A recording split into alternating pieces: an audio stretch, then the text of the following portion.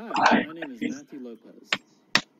I am from Waxhaw, North Carolina. It exists right underneath Charlotte, North Carolina, and on the border of South Carolina. And I, I wish I had some, you know, linguistic uh, story to tell about this, about how living on the border of North and South Carolina allowed me to hear differences in dialects or dictions or uh, different maybe colloquialisms or phrase phraseology among us. But uh, really, I didn't hear any of that. Uh, everybody in North and South Carolina kind of sounds standard Southern.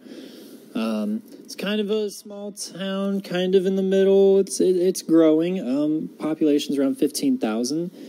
We uh, we have lots of woods. Um, we have lots of farms, we also have a lot of um, you know, kind of shopping malls that have been booming in the past few years, and we're starting to build up more apartment complexes and such.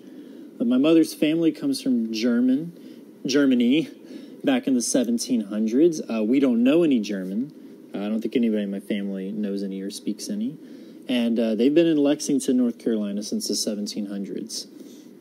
Uh, the uh, my my dad's side of the family, they stem from Italy and uh, we don't know anything more Italian than pizza. And uh, they're all hanging out in um, Charleston, West Virginia right now. And in regards to accents, none of us, I, I mean, I thought I would inherit a Southern accent from my mom or whatever a West Virginia accent would be from my dad, but other than that, I have not at all. Um, and the only time it's been aware to me in my life that I might have an accent was, was um, when I was in elementary school, uh, for one or two grades, uh, uh, some kids made fun of my accent. They said that I spoke in a southern accent, but after middle school, I've uh, not heard anybody say anything like that since. And regards to uh, language, knowing more than one language, I um, took a few classes of Spanish in elementary school, and uh, none of it stuck. Then in middle school, I took a few more. Uh, no, I didn't. I didn't take any language classes. I took band and art and uh, computer typing classes, but I never took a language class in middle school. In high school, I took two semesters of German. And uh, I've never encountered any kind of job or classroom setting um, beyond college now. I'm in Spanish 102 in college, but beyond that, I've never really experienced it. Even in jobs, I've worked in kitchens and I've only spoke with people who speak English. I've worked at um, movie theater, uh, a movie theater. I'll come back to that later. And I'm I've, ne- I've never worked with anybody that uh, that doesn't speak English, or if they do know another language, another language, they never let on or uh, used it, or it wasn't knowledge that they knew it. Um, I grew up in a middle class suburban neighborhood, uh, Hunter Oaks, and um, everybody spoke English there. Uh, the large, the the predominant ethnicity was European, and no matter how much people came in and out of the neighborhood, uh, I, a lot of people moved in and out when I was a kid, and I had a very diverse group of friends, but all of uh, from all over the world actually.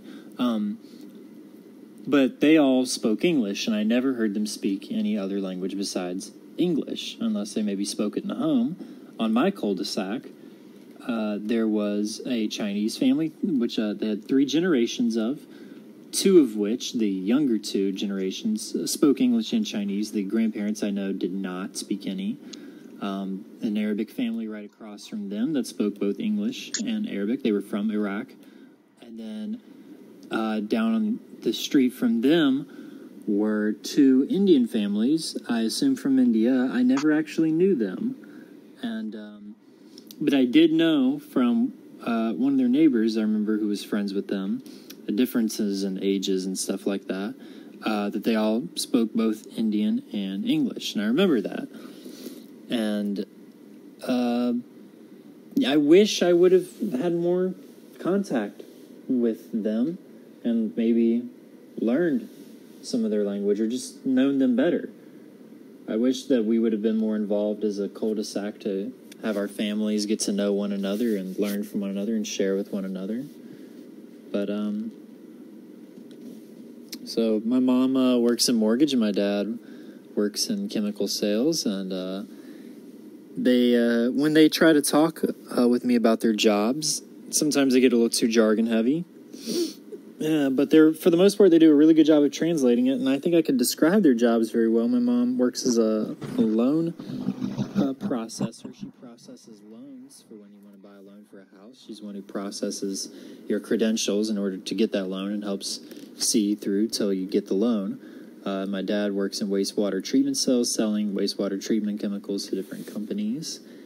Um, but they could speak with me in all that kinds of jargon and stuff, but they're able to translate it into a layperson's like form in a kind of way I know, because uh, I don't. I've never really felt code switching with them. I mean, I've code switched between like friends growing up and stuff like that, but um, yeah, because I guess I was an only child, I got a lot of one-on-one time with my parents, and uh, they talk to me kind of like on my level, I guess, or maybe I talk to them on their level. I don't know. Uh, but I do know that my mom has an English degree, and she uh, made me do a lot of writing assignments after school uh, and in the summers, working on my handwriting, cursive handwriting. She demanded I know cursive, and other composition exercises, making sure that I was um, an articulate person on paper. And I definitely notice the way I write uh, I, I'll catch myself having traces of old like lessons, even on the most basic like sentence diagrams and stuff like that. And it, I think back to um, those times, and at times I think I'm a little too formal in my writing because I've had too much training, uh, training, uh, but practice writing formally, and I'd like to write a little bit more creatively, which has um, really led my interest in playwriting, and in particular, uh, because my mom likes a lot of Southern authors. I've really fallen in love with uh, Tennessee Williams as a playwright. Uh, he's a Southern playwright who's written kinds of story, a lot of stories that take place in the South, and the characters are very lively, and they remind me of stories I've heard from my family. And um, another playwright I really enjoy is Annie Baker because she kind of capitalizes on. Uh, she shines light on instances that I've noticed a lot in life. Uh, a lot of people the way they sometimes don't say exactly what they want to say, or they say something kind of silently. They don't say anything at all. And um, instances of body language here, plays move in a very. Um, you, you, really have to read them, and so do Williams plays as well. I, I really like their playwriting a lot, and that's the kind of writing I want to do. I want to um, write stories for the stage that kind of show what we do as people, uh, depending on the context. But I like I like how they, in their form, include the very physical side of being human, as well as, well as the spoken side, as well as the gestural side. And there's meaning behind those gestures as well, and I really I'm really into that. Uh, other memories from my life about learning about words would be learning bad words. I, I don't know if I should share any specific stories here, but learning bad words I remember had a lot of impact uh, on me as a child.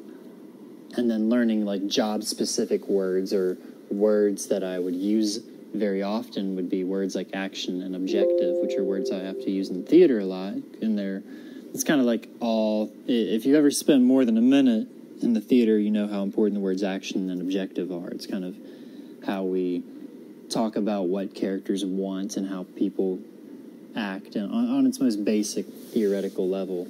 So those are just some words that have had a lot of impact on me, and uh, I've really enjoyed studying anthropology for um, broadening my uh, horizons on um, humanity, and uh, yeah, uh, that's um, so that's me, and that's uh, some of my thoughts on uh, my interactions with language.